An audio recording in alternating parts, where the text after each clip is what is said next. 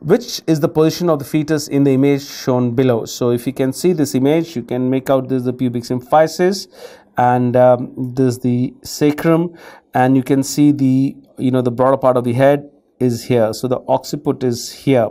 So this is the right of the patient and this is the left of the patient and this is anterior and this is posterior.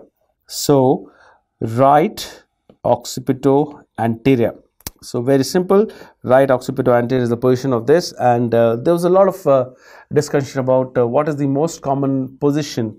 Yes all positions all heads are left occipito transverse to start with but yes eventually they become left occipito anterior and then they deliver.